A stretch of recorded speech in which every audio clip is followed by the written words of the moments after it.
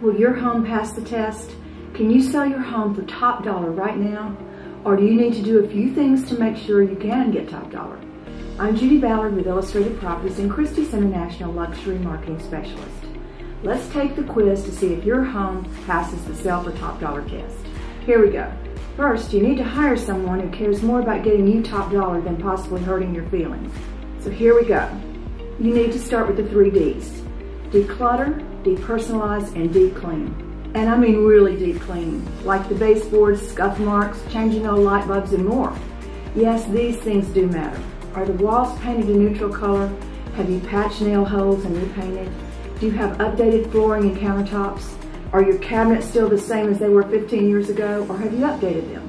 And this is a big one, the smell test. We love our pets and we consider them family.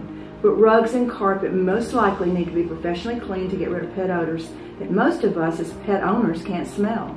What about cooking? Do you cook with spices that you're used to, but if someone else came over it might smell like a fish fry? Again, that's a no-go. And finally, have you truly compared your home to competition?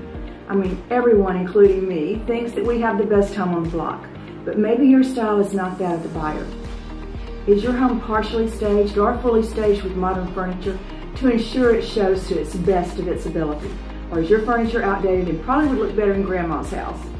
So I challenge you, take the quiz to see if you're ready to put your house on the market and sell for top dollar, or if you need to make a few changes first. P.S. Most of us do need to make a few changes first. I'm Judy Ballard with Illustrated Properties, and as always, make it a great home buying or selling day.